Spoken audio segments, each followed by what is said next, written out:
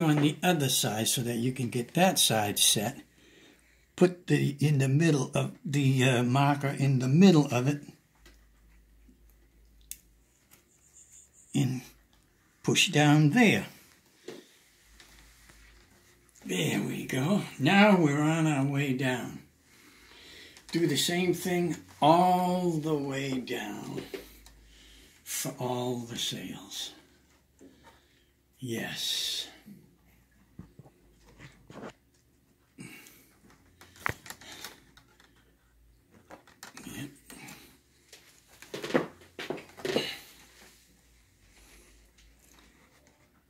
little blue mark here. Yeah, they're fitting nice and tight. That's what we want.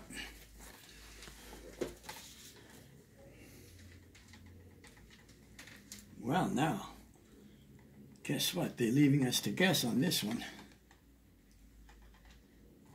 So, we can guess.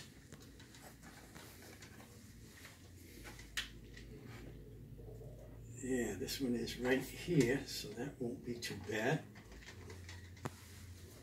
And then this one is right here, which is good. And this one is right there, which is good. Now, as you can see, what we have left are these. You, they do get turned around in shipping, so make sure you check, double check that your mast support loops get untwisted because you have to pull hard and bring them down onto the hull support which I'll move my finger so that you can see the little vinyl support goes right down over next to the cross support. And we do the same thing on the other side. We'll pull this, and it's very tight, so don't be afraid to pull on it.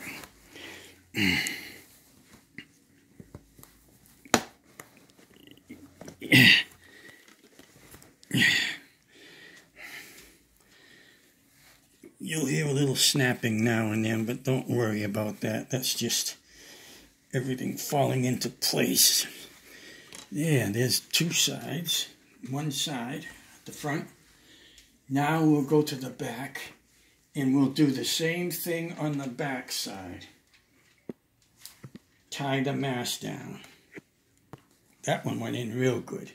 Now this one's going to be a little tough, I can see. So what you do a lot of the times is you just pull down on the crossbar and it just slips right in like that, making it a lot easier for you. And then you check it and these basically fell right into place fairly even. And double check them all. Make sure they're even and that they're all set in place. They look it. And that concludes the fabrication of what is known as the ghost ship. It's a beautiful ship, beautiful kite. Some people use it as actually a flying kite, and some people use it as a display, as you can see. We have one on display that is lovely to look at all the time. This one we are going to be taking outdoors in a little bit as it's a nice windy day because these ship kites require a large amount of wind, unlike regular kites. Most of your regular kites are oh, anywhere from 6 to 7 to 18 miles an hour. These are going to take at least 16 to 20 miles an hour winds.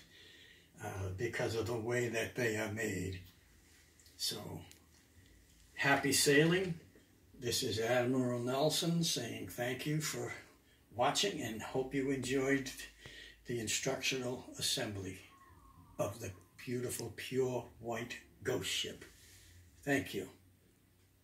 Good day.